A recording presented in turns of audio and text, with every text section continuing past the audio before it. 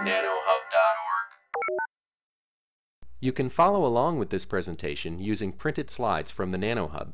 Visit www.nanohub.org and download the PDF file containing the slides for this presentation. Print them out and turn each page when you hear the following sound. Enjoy the show. Uh, let's get started. So this is lecture 26 on Schottky diode. This is the second part of the lecture where we'll be talking a little bit more uh, in detail about the Schottky diode. In the last class, we talked about why Schottky diode is historically important. Remember, this was the first diode that people used much before they knew anything about semiconductor or how semiconductor and metal junctions work. This is before quantum mechanics, before special relativity. Uh, this is very, I think in the 1890s or so, uh, that's first when they started working on this. But still, even today, in scanning tunneling microscope and uh, for wide variety of other, uh, other situations, uh, this device is still very useful. And for many practical devices, even inadvertently, this is important, uh, as I'll, I'll explain a little bit later. Now today we'll talk about a little bit more detailed about some aspect of Schottky barrier diode um, and let me let me get going. So the first thing I'll be talking about is the thermionic emission current. Uh, this current, you'll use this formulation anytime there is a discontinuity in the conduction and valence band. Uh, if there is a discontinuity, then you want to actually uh, calculate current always using this thermionic emission formula where you take a flux from the right, a flux from the left, and then use the ballistic transport essentially to connect the fluxes across the junction. This you always have to do anytime there is a heterojunction. Now I'll do a little bit more detailed derivation. The last class we did a simple one and that was good enough. Uh, we will talk a little bit more today.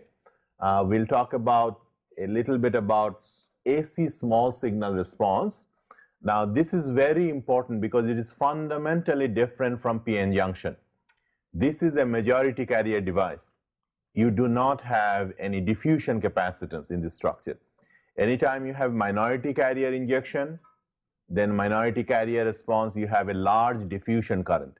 And therefore, diffusion capacitance is a very important uh, component. Um, nothing like that here. So we'll see that these, these diodes are actually very fast.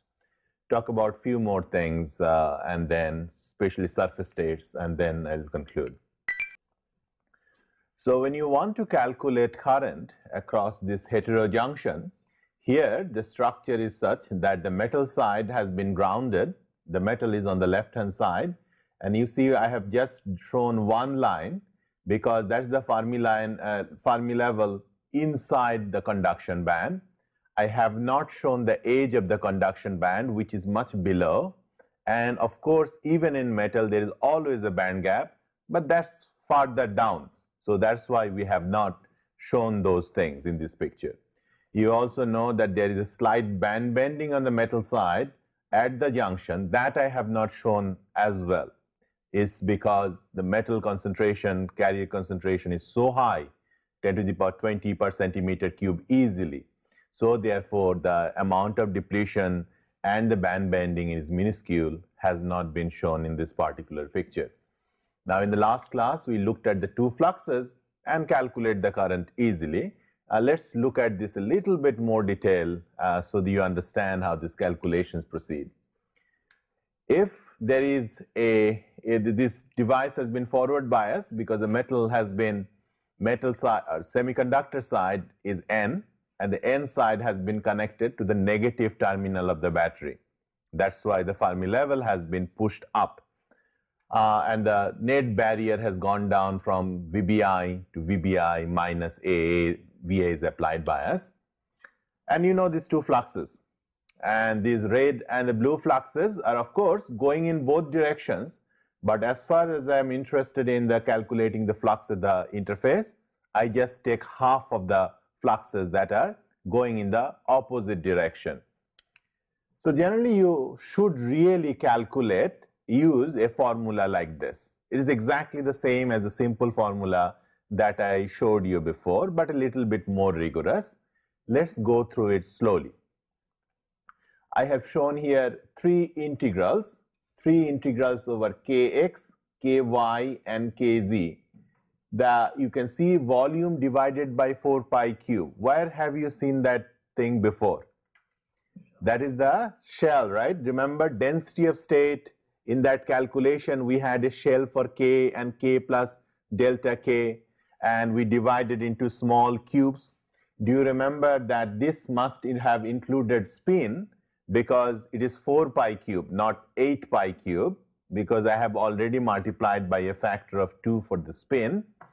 And this, therefore, is indeed, if I didn't consider anything else, and if I wanted to look at the density of state at a given point kx, ky, kz, then that would be my density of state. And you have done this homework also, right? Do you remember that instead of looking at a shell uh, between E plus delta E, there was also a homework where they asked K plus delta K, uh, Ky, Kx plus delta Kx plus Ky plus delta Ky, Kz plus delta Kz. You had that homework and this was in preparation for this calculation. Now that's the density of state at a given value of K, then this is the occupation, this is the Fermi occupation. Now of course this is this only applies if it is degenerate or sorry non-degenerate because then you can make this uh, Boltzmann approximation of the Fermi-Dirac uh, distribution. Beta is 1 over kT.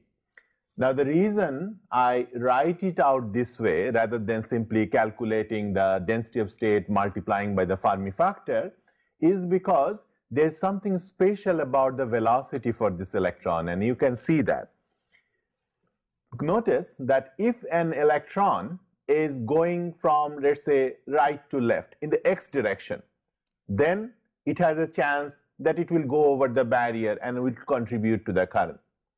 But if I had an electron which is going along the y direction perpendicular to the junction, well it can keep going forever as long as it likes but since it will never cross the junction so therefore it will not contribute to the current right and similarly in the kz direction, in the z direction, the electron could going go forever, but because it is never crossing the junction, it is not going to contribute to the flux. As a result, I cannot simply just integrate them all out and call this is the density of state multiplied by this velocity.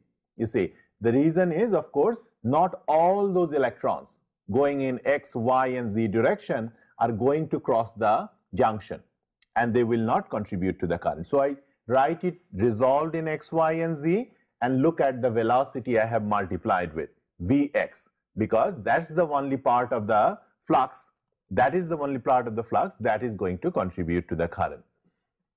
Now, you also see that I have put the look at the limits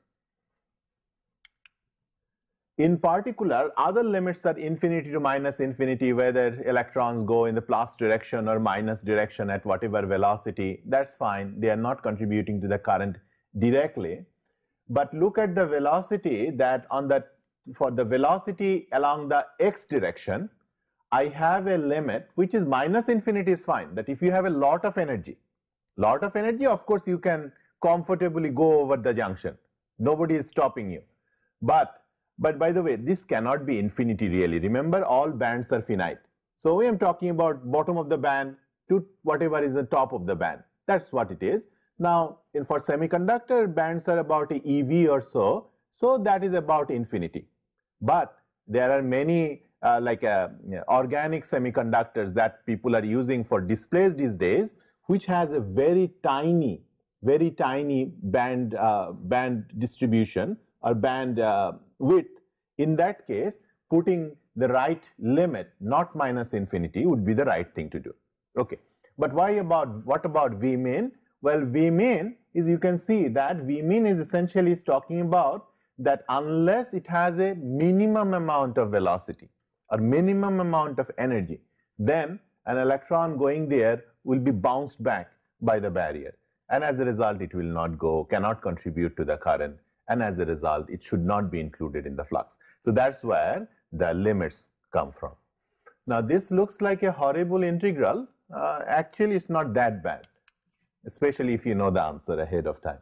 Uh, similarly, for the blue side, you can see that there will be a barrier which will reflect the carriers and that's independent of bias because no matter what you do to the right hand side, because there is almost no band bending in the metal side, so that barrier where the blue is turning back, that barrier is almost independent of voltage. We told about, discussed this in the last class.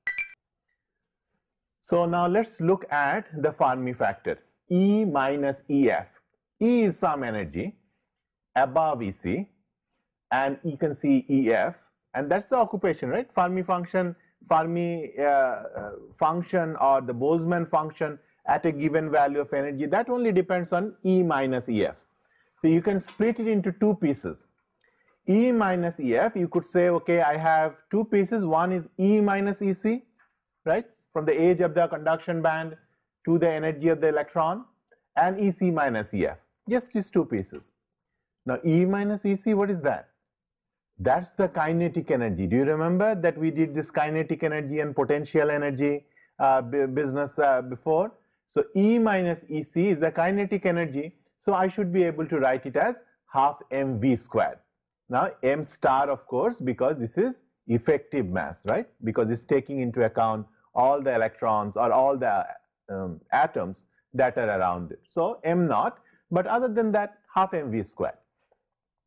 And I have kept the EC minus EF just uh, as is. Now EC minus EF that value only depends on the doping. So long you have a doping of a semiconductor, somebody told you what the doping is, EC minus EF is a number, you can take it out of the integral, you don't really care about it. So this is what it is. So you can see I have this EC minus EF I have pulled it out of the integral to the left hand side. Do you see that half mv squared is sitting on the exponential? I should have written an m star over here uh, in general. Now, then of course, I have written the dkx. kx is h bar k is mv because h bar k is the momentum. mv is also the momentum. So I can write it as m star vx divided by h bar. That's it. And I can pull it out. I can divide this because you can see each integral, although there is this three pieces of integral, each you can put it in their separate boxes and try to integrate them out. You can see the y and the z pieces look very similar. They are exactly the same, something sitting on the top of exponential dv and you integrate between minus and uh, minus infinity and plus infinity and but the x integral is slightly different. Do you see? It carries with it extra vx. The limits are funny from minus infinity to minus v min. So that we have to be little bit careful about. The remaining two pieces are actually very simple. Okay. So what should the values be? Well, turns out that if you look up in your integral book, then you will see that the first one is actually just a square root of pi. That's the first one. And the second one with some factors, with some factors. And the second one, after you, because you know, after you have e to the power x squared, then dx. So uh, within some factors is square root of pi. And the last factor, because once you insert the expression for V min, do you see why that should be the value of V min? Because V min is related to the barrier height. Half mv squared is that V min must be at least equal to VBI minus VA. So therefore, I have that expression. I will put it in as the top limit. And once I have done that, if I do this integral, I will pull back out this, the limit will come here in the exponential and then that will be the final answer. So once I pull everything down, you know, all those extra factors down, this is the final result. The final result has a bunch of constant, goes as t squared, EC minus EF, VBI, and you can see I can put all those prefactors up front as A naught and QVBI, QVA divided by KT. Very similar to the PN junction flux, you see, exponentially increases with applied bias. Very similar, but also very different. If you remember metal semiconductor, if you remember the PN junction and the expression for it, do you remember that upfront for the minority carriers there was this Ni squared divided by Na, Ni squared divided by Nd, that was the prefactor? That prefactor says that PN junction current is extremely temperature sensitive. Why is that? Because Ni squared has exponential of Eg over kT. And the band gap, because NC, capital N, capi capital NC, capital NV, e to the power Eg over kT, right? And the band gap itself is extremely temperature sensitive. As a result, the prefactor is very temperature sensitive. On the other hand, here, I do not have the band gap explicitly sitting there. Of course, band gap is hiding somewhere, and we'll talk about that in a second. But in general, since there is no Ni square term, so therefore, although the expression looks almost the same, it is much less temperature sensitive. Now, what about, now you should try to work it out because, you know, I have just shown you a square root of pi over there, but I haven't accounted for all the constants that we'll need. Do this when you go home and you will try to see whether you can pick up the all the constants. Now that's one thing, that difference between PN junction and a Schottky barrier. Uh, there is, of course, you can always calculate the current. Remember that at zero bias, the current from semiconductor to metal must be exactly balanced by the current from metal to semiconductor. So you set a VA equal to zero. So the current from metal to semiconductor will simply be A naught. And so the net current is A naught e to the power q VA beta minus 1. Beta is 1 over kT. Now, just wait for, a, uh, think about a second about, uh, so qu where quantum mechanics is hiding, where is the information about doping, and, and where is the information about the fact that I have a pair of metal, let's say aluminum with germanium. Where is this information in this expression? Okay. So one is, is you can see m star m star is sitting there. So quantum mechanics is there and that will contain the information about whether it's silicon or germanium, whatever the semiconductor is. Now where is, and you can see the doping, where is that?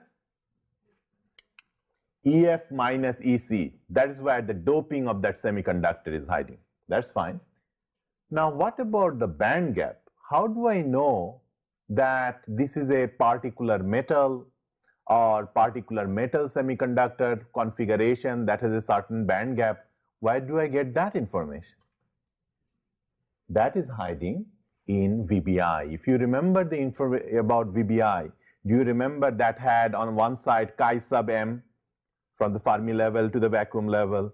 On the other side, we had the chi plus VBI plus the doping.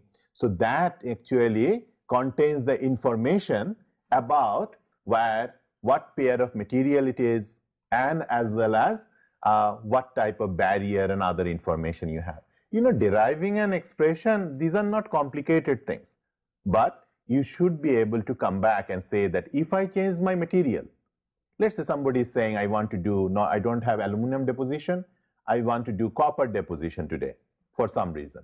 You should immediately be able to say, what is it in this expression that you are modulating. Of course, you cannot modulate VBA, that's your AAA battery from outside, but you can modulate the constant upfront. That's your design of the devices.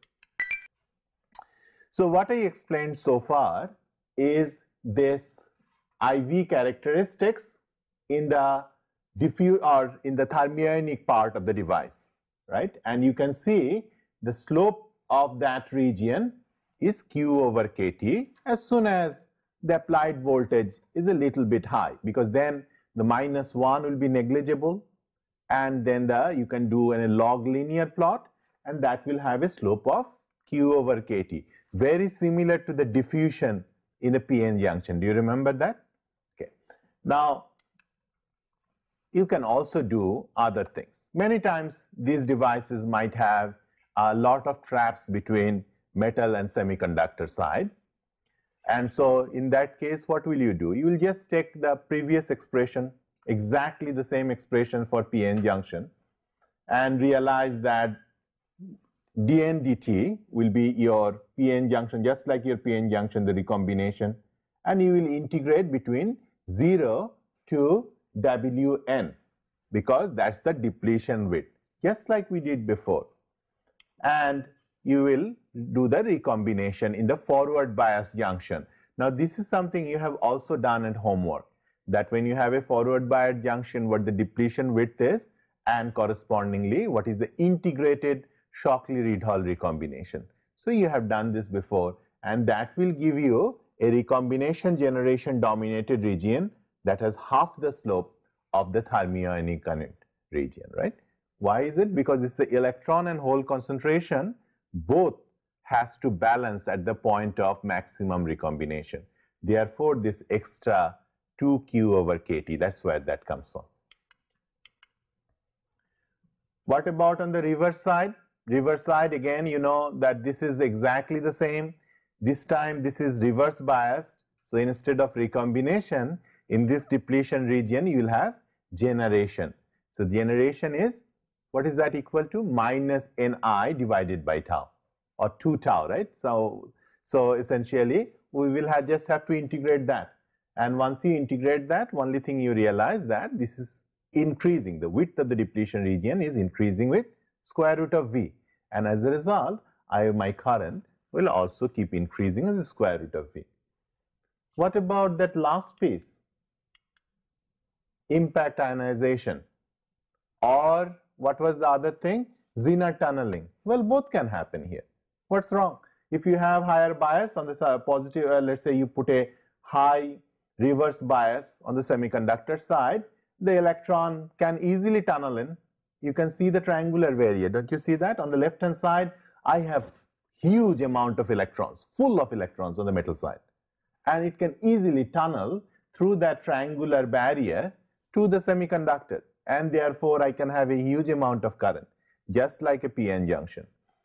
Similarly, I can have impact ionization that is a carrier may be uh, emitted or generated in the depletion region and then it may start rolling down the barrier and in the process if it has high enough energy that will then it will generate its its pair and this process will continue and then you will have an avalanche multiplication.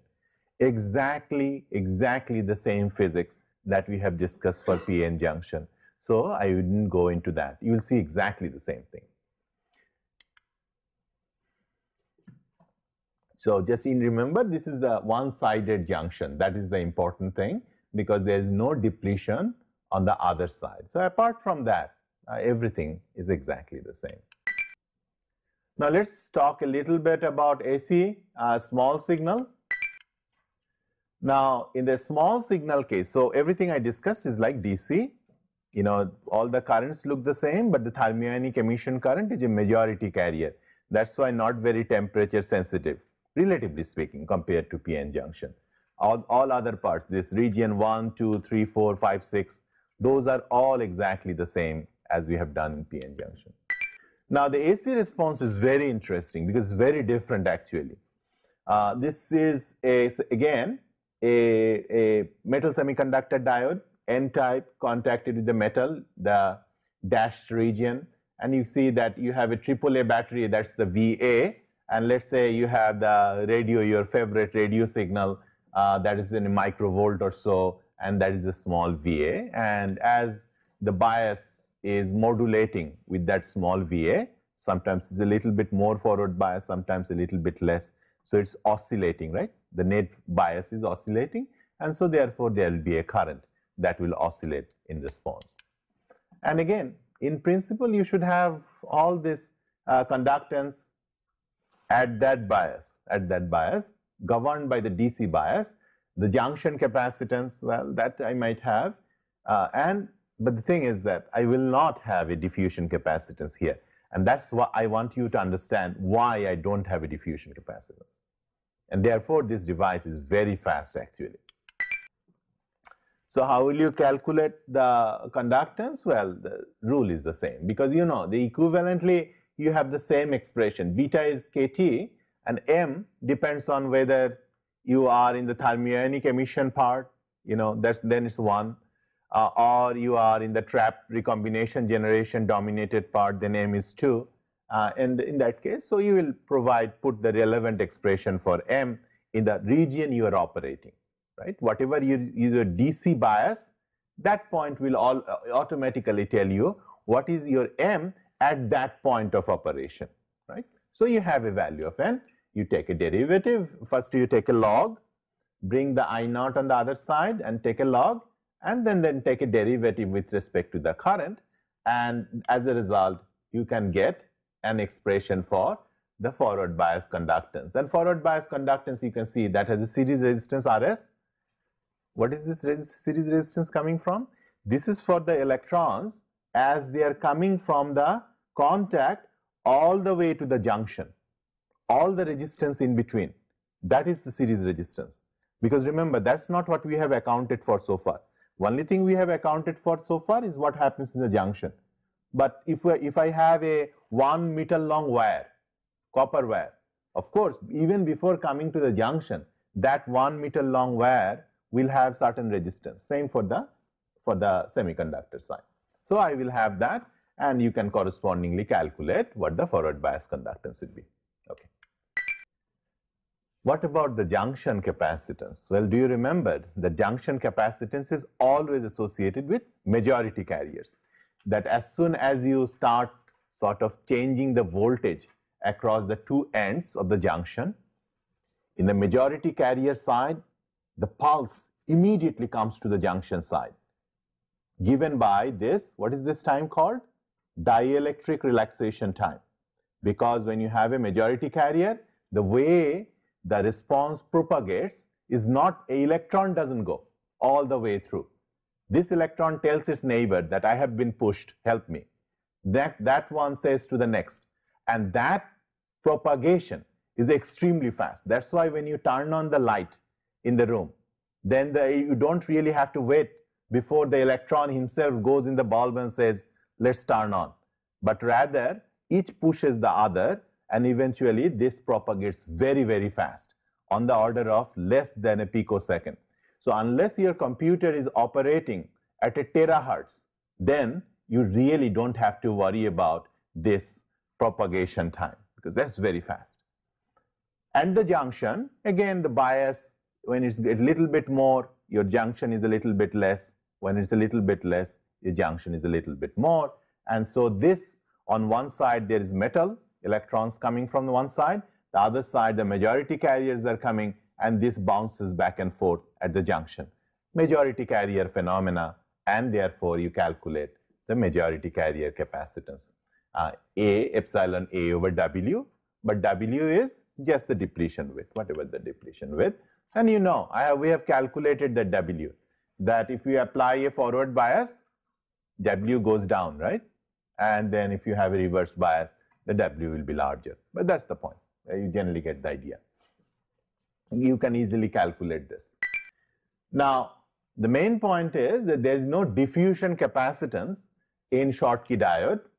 Uh, this is because of this following thing. In, in Schottky diode, there is no minority carrier. If you don't have a minority carrier, nothing is diffusing because as soon as it comes in, in the other side, where it could be a minority carrier, it immediately joins the majority carrier. You know, you sort of, you come to a new country and instead of keeping your identity for a while, you, you sort of blend in with the majority. And in that case, you can enjoy all the facilities or the transport uh, advantages that you have with the majority. It's the same thing here. And the reason it happens is because as soon as the electron comes in, when it's this much high in energy, it has no band gap or anything, right? In this region, phonons will immediately scatter it down as if it has recombined with the majority carriers immediately. As a result, it is not sitting up there sort of slowly responding and diffusing. As a result, you do not have any diffusion charge And if you don't have any diffusion charge, as soon as the charge comes in here, then it responds with the dielectric relaxation because it's a majority carrier. And I do not really have to wait for the electrons to gradually go by back and forth uh, and uh, respond with the minority carrier lifetime. So this is about Schottky diode and this is, I want to emphasize, very different from the PN junction diode where the, you can see the red triangle on the left hand side is the minority carrier. Unless you have a lot of traps sitting there, then it stays on the minority carrier side for a long time. As you bounce your potential up and down, then the, uh, the string, the blue uh, wavy line that says that how it diffuses. Each individual electrons needs to go and that takes a lot of time. So therefore, it's a, it's a actually a slower device.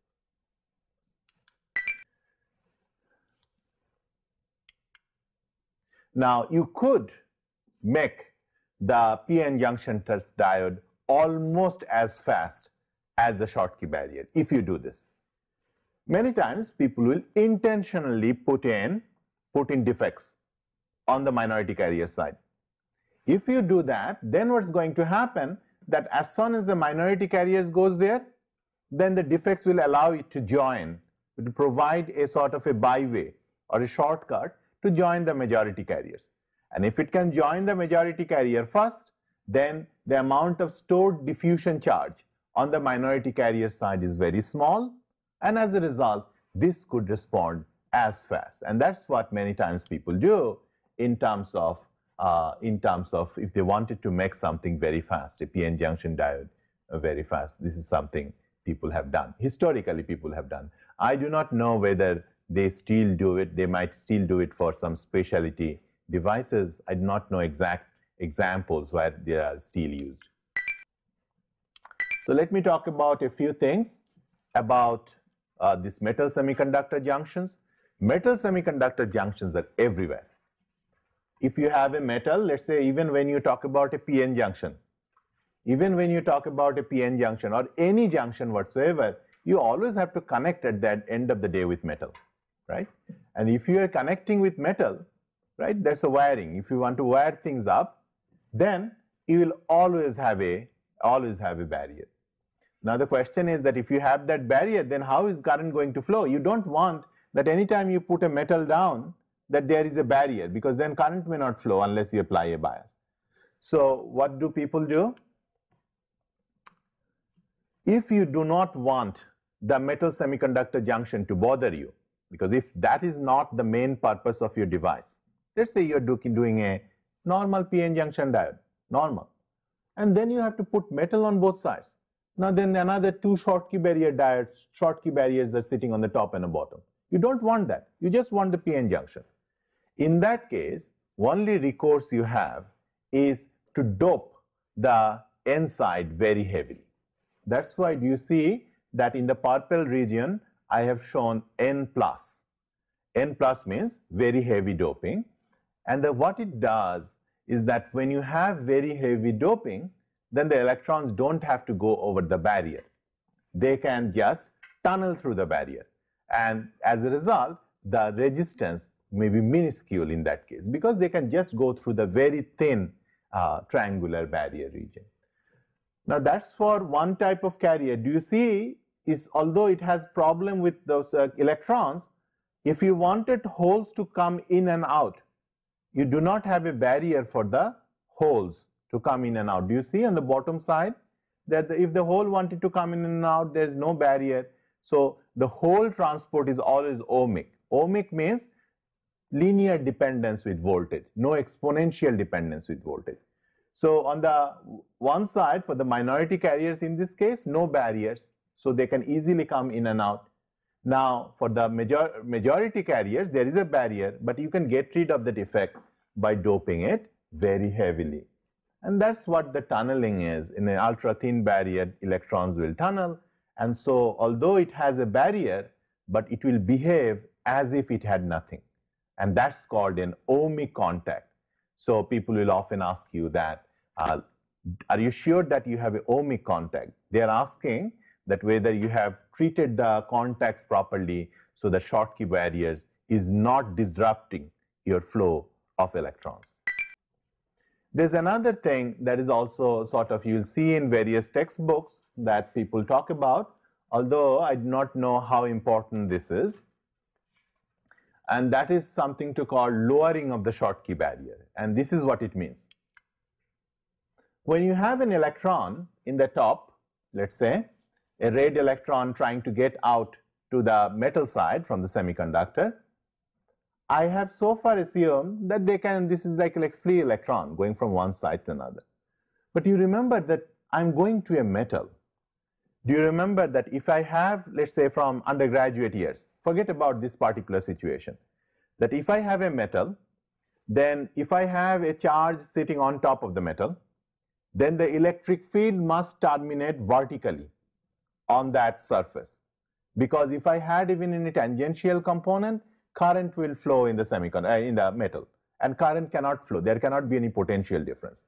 So it must terminate vertically. That means there's always sort of an effectively an image charge on the other side. Anytime I have a charge on top of a metal. So that is what I have shown here, that anytime the electron is moving, the red electron is moving towards the metal, it induces the surface charges on the metal, right? Because it must terminate perpendicularly. As a result, I could instead of replace the metal with a corresponding equivalent image charge. So if I have an electron on the red, what will be the sign of the yellow one?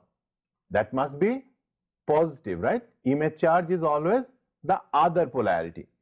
And so I have a positive and a negative charge. They must attract each other. As a result, effectively speaking, as a result, the red electron will get an extra pull to pull it out of this, of this semiconductor. As a result, what's going to happen, that look at the barrier.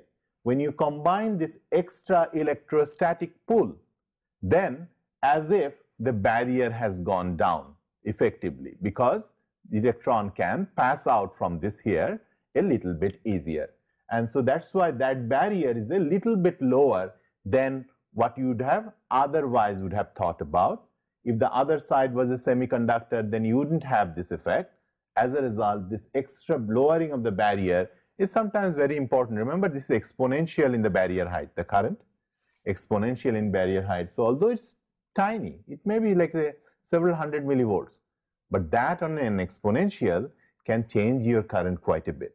So therefore, many people discuss this as an important effect. Now, this is a topic I have not worked personally. I, most of the other things I have worked in my career sometime or other. So what I'm saying is sort of a little bookish in the sense that that's what they discuss in the book. I do not know for sure that how important some of these things are. There's a reference uh, in the Sze's book and page 143 that you can look up. Finally, uh, it's something about called Fermi level pinning and the Fermi level pinning is a very important recent phenomena. And let me explain to you that why anytime you bring a metal to a semiconductor and push them together, you may not always get conduction at all. Conduction, you have to do something very special about it. The reason is that semiconductors are a very special thing. When you terminate a semiconductor, right, make it finite, do you not have a lot of interface states? Do you remember the surface recombination velocity and all those states sitting in the mid gap and the recombination that we talked about? Of course, those are all there. I mean, uh, simply because I haven't drawn it doesn't mean they do not exist. And so what happens that near the edge of any semiconductor, there is a lot of surface states as if you have this NT, NT is the number of traps, right? like you have a lot of traps, like as if you have a lot of doping in the end of this region. Because if you solve for the position of the Fermi level in the presence of the surface states, then you will see the Fermi level is very close to the middle because we have so many traps. As a result, you see that the uh, red region I have shown with sort of a Gaussian curve, that is somehow to represent the presence of the surface states. And when you have that amount of surface states, it pins the Fermi level to the middle of the band gap. regardless of what you did internally. It may be a heavily n-doped region.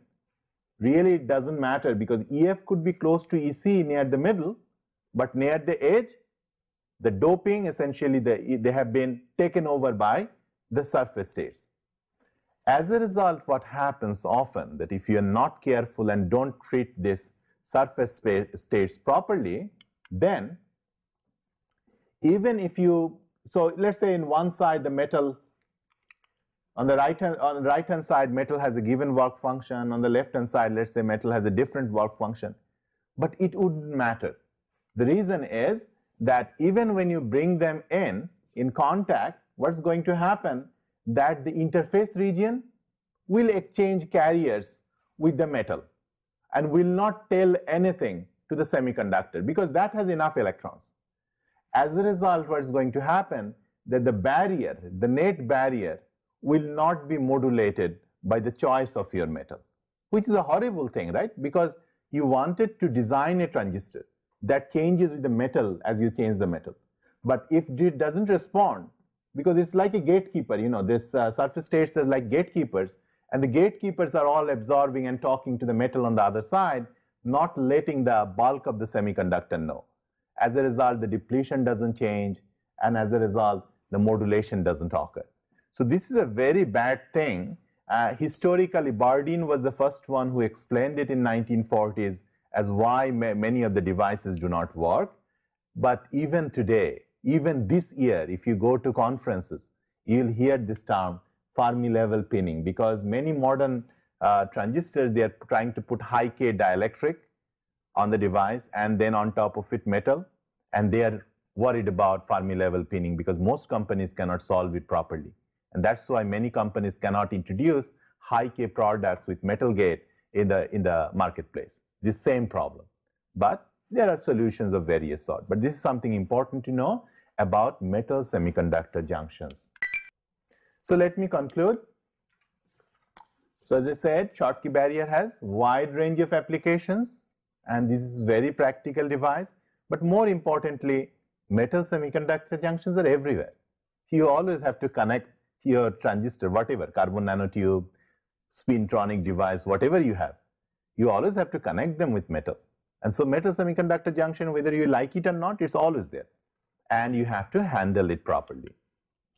Now, one distinguishing feature from PN junction is a majority carrier device, no diffusion capacitance, and therefore, and also no strong temperature sensitivity, which is a good thing.